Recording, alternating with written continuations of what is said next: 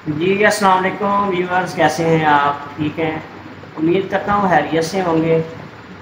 आज मैं आपको बताऊँगा कि बूढ़ों और जवानों के लिए एक नायाब मेडिसन जिसका नाम है लाइकोपोडियम इस मेडिसन के इस्तेमाल से आप की मताना कमज़ोरी, जिस्मानी कमज़ोरी, जहनी कमज़ोरी दूर होती है। और ये मेडिसिन एक जादुई असर रखती है। इस मेडिसिन का इस्तेमाल आप थर्टी ताकत में भी कर सकते हैं।